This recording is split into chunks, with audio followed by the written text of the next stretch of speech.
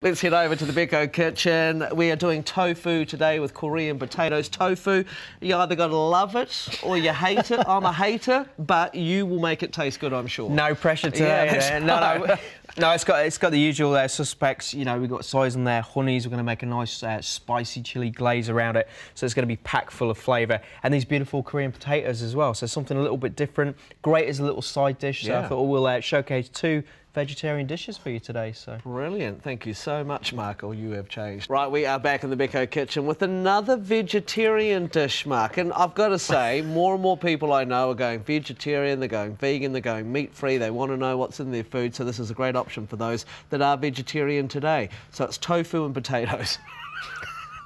Well, if you make it sound like that. No, but this is, this is going to be great. So, so there's going to be two separate dishes. Yeah.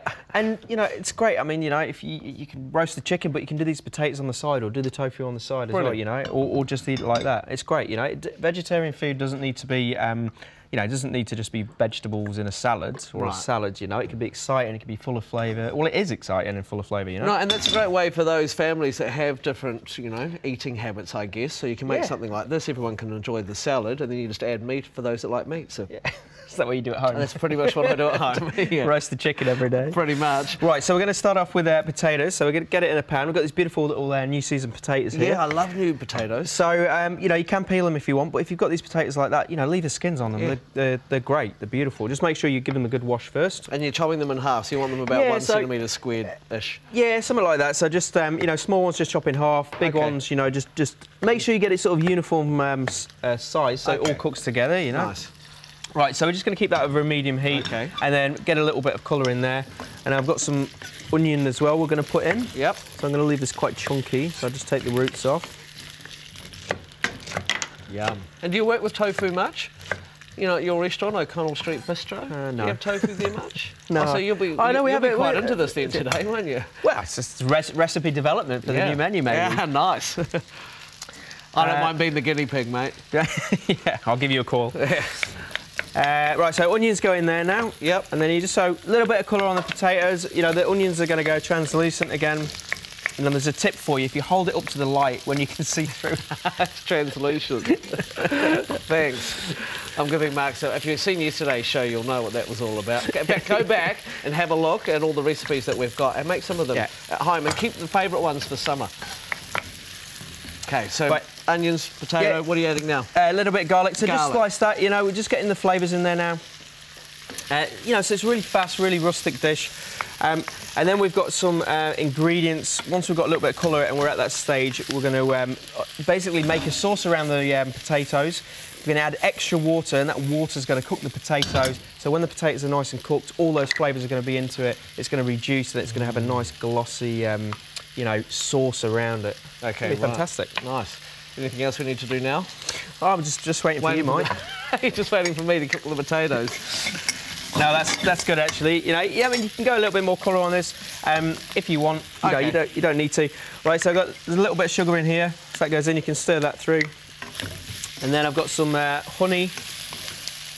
You know, and this is going to help with that sticky sticky glaze. You know, and just really really flavour these potatoes. And some soy sauce goes in there. Oh, is smelling incredible. Uh, and just while we're doing this, the tofu, does it need to be out of the fridge at room temperature or can you leave it in the fridge while you're preparing No, no, this is great. So you can just get, take this straight out of the packet. And it's probably cool. better even if it's in the fridge or somewhere cool, just so it's a bit firmer. But that's going to be on the second recipe. Okay, cool. So a little bit of sesame oil goes in there as well. Oh, that smells good. And then I've got some water, so be quite generous with the water. It looks quite wet now, but we need to cook those potatoes. So we're going to bring it up to the boil. Yep. Boil it, we'll turn it down, and just cook the potatoes exactly like you would, you know, in a pot of boiling water. Brilliant. Um, you know, leave the lid off, so as it's simmering, it's reducing, and these will be nice and glazed, and you'll see this a little bit later on in the show. And then all we're going to do is just finish it with some um, sesame seeds, and uh, we've got some sesame oil in there already, but if you want a little bit more, just to heighten it, a little bit more oil, but those seeds to serve, and, and you know, simple, tasty, it's great. Nice work. Well, we'll see the finished product soon. We'll also show you what to do with the tofu. Okay, so our potatoes, our onions, our soy sauce and honey and everything else is brewing away here nicely. It smells incredible, so we're going to concentrate on the tofu now. Right, yeah, so for our second dish now, what we're going to do is going to cut these into nice chunks. Okay, that's why you needed it firm. Yeah, so Yep. to get the get the firm uh, tofu, nice chunks. I've got a pan in here, a little bit of oil goes in there, and now we're going to get some colour on the tofu. Okay. Can you mount it too much? Will it hold its shape? It will hold its shape. Okay. You get a nice firm one. Mm-hmm. So nice heat. So we're going to fry it in the pan. And what we're looking for is a nice golden sort of caramelisation, you know, nice bit of crust that gives it a bit of texture, also help with the flavour. Okay. So that goes in. You're not going to leave me in charge of that, are you? I am leaving you in Oh, charge no. of that. Yeah, you haven't got a chair yet. That's a good point. Right, and then we've got some spring onions, so I'm just going to chop them up, Yeah. and then we're going to start frying these as well in a sec. You know, I'm going to get a little bit of colour on there, so you can just, um, Have a wee check. yeah, have a wee check, just see where we're at. You know, it's always it's always a good idea to just sort of check one and see. You know, if you're getting if you're getting a, a, a dark colour but uneven, you know, your pan's probably too hot, so you can turn it down a little bit. Is that enough, or do you want more? Uh, no, a little bit more. A little bit more? Okay, so a little bit darker. Okay, Yeah, cool. a little bit darker. Right, so I've got some onions which we're going to fry off in a minute once we once we get a nice colour, and then it's going to make a really quick sauce. So same again, we've got some soy sauce in there, got some chili flakes. So this is going to give us our spice. This is really good. Uh, yeah, we'll put all those in there. We like chili. Yum. Uh, I don't it's mind the chili anymore. A little bit more. Yeah, you've got no choice, really, have you? It's like Jesse and his coriander. uh, sugar in there, Yeah. bit of sesame oil in there. And I'm going to chop a little bit of garlic as well. That's going to go through the sauce. And then once we've got the colour, we're actually going to braise it in all this liquid as well. I'm going to put a splash of water in as well. It's hot. Now, I know you probably wanted this a little bit browner, but this is TV. We don't have all day. But No, that's fine. you know, yeah, that a good no, yeah, Okay. that's right. right. Garlic goes in the sauce. Give that a stir around. Oh my god, this is so hard to turn. Should have got some tongs.